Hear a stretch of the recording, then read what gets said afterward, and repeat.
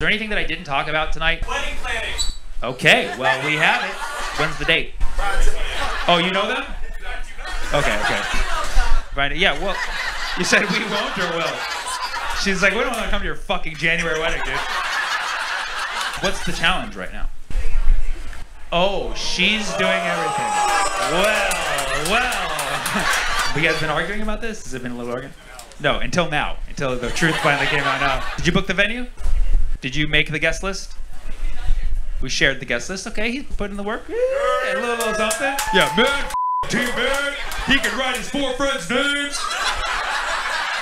Distribution of names on the guest list. How many you? How many him? 60 40. Popular fella, huh? Oh. Extrovert, introvert. Okay, okay, that's good. That's why it's like marry you an introvert. It's gonna be cheaper, right? Are we splitting the bill? How are we doing it? Mommy, daddy. Yeah, dude. That's gender equality when you got rich parents. She made me split the bill our first date.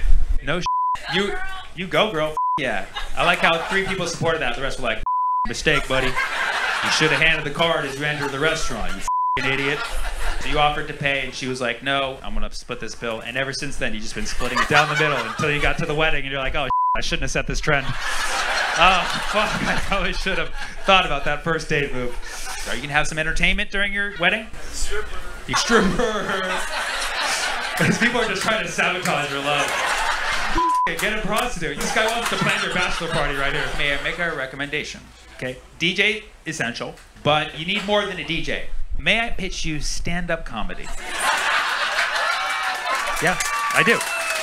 Just check my schedule. January 20th, I'm open, all right?